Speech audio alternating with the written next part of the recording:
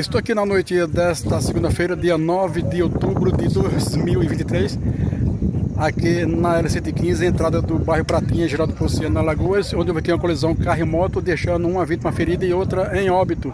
Informações que estavam dois homens em uma motocicleta Fan 160 de cor branca.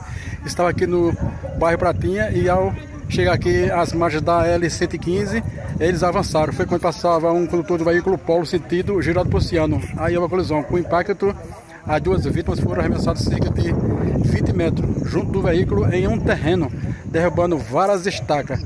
Uma morreu no local, que era mototaxista, e a outra é, foi socorrida pelo pessoal do SAMU, que era mecânico, para o hospital de emergência. O condutor do carro saiu do local. Foi assinado pessoal é, da PRV, da Guarda Municipal e também da Polícia Militar, está aqui no local, aguardando a chegada do IC, do ML, para fazer os procedimentos.